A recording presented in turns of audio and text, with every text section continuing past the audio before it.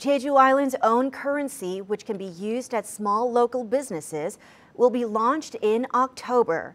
The currency will be distributed in the form of a debit card or a mobile voucher. The province is encouraging residents to use the local currency. Meanwhile, concerns are being raised by business owners about the list of eligible businesses. Joseph Kim reports.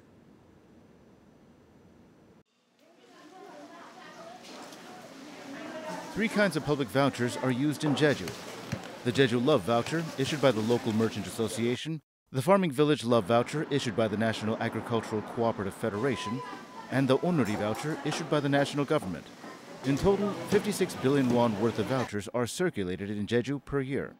The range of use is set differently by voucher. It has been pointed out that there is no local voucher issued by the provincial government where Seoul can send national funds.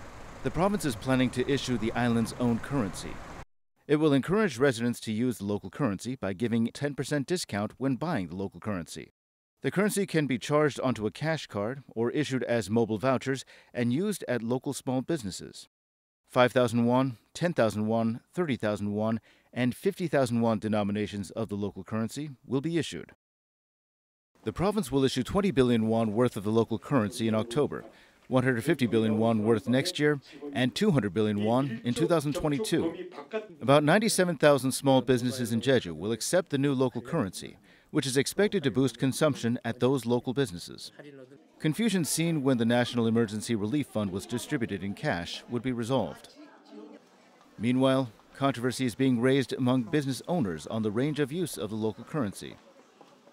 According to the province's plan, the local currency will not be accepted at bars, pubs, gambling places, and game rooms, as well as big supermarkets and shops directly managed by company headquarters located on the mainland.